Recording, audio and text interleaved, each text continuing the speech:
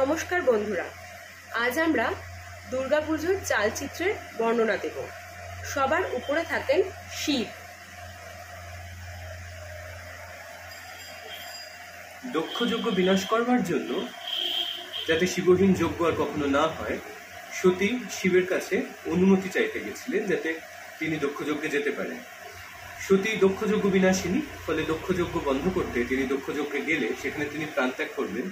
তাহলে আর যাই হোক, শিবের প্রিয় বিচ্ছেদ হবে। সেজন্য শিব প্রাথমিকভাবে অনুমতি দেননি। তখন দেবী দশ দিকে দশটি ভয়ানক রূপ ধারণ করে দাঁড়িয়েছিলেন। শিব দশ দিক দিয়ে পালাতে পারেননি, সেই ভয়ানক মূর্তিগুলি দর্শন করে। এই মূর্তিগুলিকে বলা হয় দশ মহাবিদ্যা এরা প্রত্যেকে এক একজন মহাবিদ্যা স্বরূপা। প্রথমজন হচ্ছেন কালী, যিনি শিবের উপর দণ্ডায়মানা, চতুর্ভুজা, যার গায়ের রং ঘন মেঘের মতো যিনি মুন্ডমালী, যার কানের দুলগুলিও সব দ্বারা নির্মিত, যার কোমরের কাঞ্চিটিও সবহস্তে নির্মিত। যিনি খড়গ এবং ছিন্নমুণ্ড ধরে আছেন এবং তার সাথে শিবাকুল ছিন্নমুণ্ড থেকে পতিত রক্ত পান করছে। দ্বিতীয় বিদ্যা হচ্ছেন তারা। তারা লম্বদড়ি দীর্ঘদ্রংষ্টা, তিনিও শিবের উপর দণ্ডায়মানা, সচরাচর বাম পদ শিববক্ষে শিবহৃদি করে স্থাপন করেছেন তার হাতে নীল পদ্ম অতি সাংঘাতিক খড়গ, মুন্ড এবং কপালপাত্র। তৃতীয় বিদ্যা হচ্ছেন রাজরাজেশ্বরী। রাজরাজেশ্বরী বা ললিতা, তিনি পদ্মাসনা, চতুর্ভুজা, রক্তবর্ণা। তার হাতে রয়েছে পাশ, অঙ্কুশ এবং ধনু এবং তীর। তার আসনটি পঞ্চপ্রেত, অর্থাৎ ইন্দ্র, মহেশ, রুদ্র নারায়ণ এবং ব্রহ্মা এই পঞ্চপ্রেতের উপর স্থাপন করা আছে। চতুর্থ মহাবিদ্যা হলেন ভুবনেশ্বরী, চতুর্ভুজা, রক্তবর্ণা। তার দুই হাতে রয়েছে পাশ এবং অঙ্কুশ। পঞ্চম মহাবিদ্যা ভৈরবী। ভৈরবীয় রক্তবর্ণা।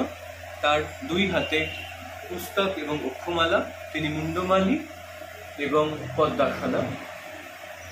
ষষ্ঠ মহাবিদ্যা তিনি হচ্ছেন ছিন্নমস্তা। তিনি নিজ হস্তে, নিজ বাম হস্তের খর্গ দ্বারা নিজ মুন্ড কর্তন করে নিজে এবং তার দুই সখীকে যথাক্রমে সুষুম্না, ইরা এবং পিঙ্গলা এই নারী থেকে বেরিয়ে আসা রক্তপান করাচ্ছেন। তিনি তিন গুণের উপর দাঁড়িয়ে আছেন। এই তিনটি গুণের প্রতীক হল পদ্ম এবং পদ্মের উপর বিপরীত রতিতে আসক্ত রতি এবং কাম। সপ্তম বিদ্যা হচ্ছেন বগলা বগলামুখী যিনি বাকস্তম্ভন করে থাকেন এবং তিনি এক হাতে মুদ্গর ধারণ করে পশুদের জিহ্বা ধরে দাঁড়িয়ে আছেন। অষ্টম মহাবিদ্যা হচ্ছেন ধূমাবতী তিনি বিধবা এবং ক্ষুধার্ত যার স্তনযুগল বায়ুভরে আহ, উদ্দীয়মানা তার রথ সেটি হচ্ছে কাকধ্বজ তার একটি হস্তে কুলা এবং অন্য হস্তটি কম্পমান। নবম মহাবিদ্যা হচ্ছেন মাতঙ্গী। তিনি শ্যামবর্ণা এবং পদ্মাসনা। তার চতুর্ভুজে রয়েছে খড়গ চর্ম, পাশ এবং অঙ্কুশ দশম এবং শেষ মহাবিদ্যা হচ্ছেন কমলা।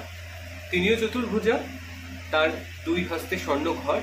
তিনি মুখবেদান করে দুটি হাতিকে একবার গিলে ফেলছেন এবং একবার আবার টেনে বার করে আনছেন। এরপর এই ধরনের চালিতে যারা থাকেন, তারা হচ্ছেন দশ অবতার। দশ অবতার, তার প্রথম জন হচ্ছেন মৎস্য অবতার।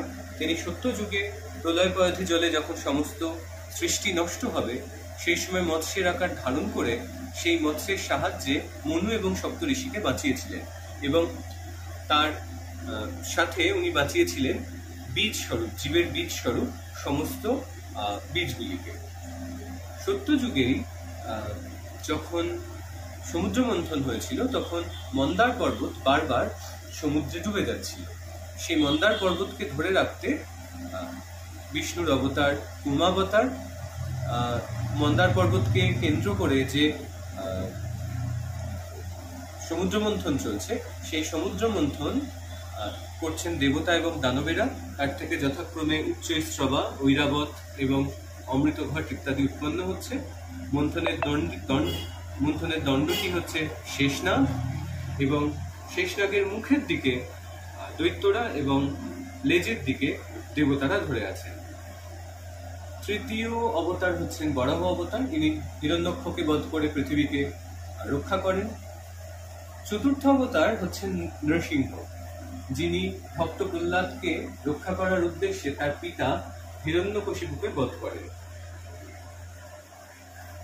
পঞ্চম অবতার বামনাবতার তিনি ত্রিপাদ পরিমাণ জমি চেয়ে নিয়ে বলিকে বদ্ধ করছেন। তার তিন পায়ে পৃথিবী, স্বর্গ এবং বলি আবদ্ধ হচ্ছেন। ষষ্ঠ অবতার হচ্ছেন পরশুরাম, যিনি এক- একুশ বার পৃথিবীকে নিক্ষত্রিয় করেছিলেন। সপ্তম অবতার রামচন্দ্র তিনি শ্যামবর্ণা শ্যামবর্ণ এবং তার সাথে সীতা দেবী রয়েছেন এবং তার সাথে রয়েছেন পদতলে হনুমান। সপ্তম অবতার কৃষ্ণ, তার সাথে রাধা রয়েছেন এবং গৌরভক্ত বৃন্দের প্রতীক স্বরূপ আমাদের চৈতন্য মহাপ্রভু, নিত্যানন্দ, শ্রীবাস গদাধর এবং অদ্বৈত আচার্য রয়েছেন। অষ্টম জন হচ্ছেন বুদ্ধ। নবম জন হচ্ছেন বুদ্ধ, যিনি কল্পবৃক্ষ, কল্প যিনি বোধিবৃক্ষের নিচে দাঁড়িয়ে আছেন এবং বোধিলাভ করেছেন, সদ্য বোধিলাভ করেছেন এবং দশম এবং শেষ অবতার তিনি হচ্ছেন কল্কি। এছাড়াও চালির একদমই উপরের দিকে থাকেন ব্রহ্মা এবং বিষ্ণু। ব্রহ্মা পদ্মাসন এবং চতুর্ভুজ, তার হস্তে পদ্ম, বেদ এবং সুখস্রুভ তিনি চতুর, চতুরানন এবং অপরদিকে চালিতে থাকেন নারায়ণ, যিনি অনন্ত শয্যায় দণ্ডায়মান এবং চতুর্ভুজে শঙ্খচক্র, গদা এবং পদ্ম ধারণ করে আছেন।